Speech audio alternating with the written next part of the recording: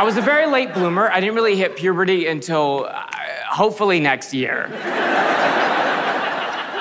I was very free with my wrists as a kid, just like two wet American flags in the sun. And I walked on my toes. I walked on my toes for some reason. So in combination, I, I, I walked like how bells sound.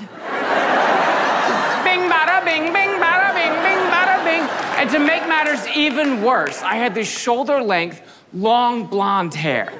My mom did not know how to cut hair. She was too cheap to pay someone to cut it. So she's like, you know what? I'll just make it exactly like my hair, but a little bit shorter, and then that'll be for boys. And it's not. it is the Lizzie McGuire.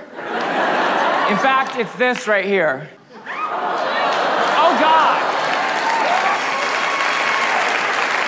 Notice the low swooping neckline to accommodate for the puka shell necklace.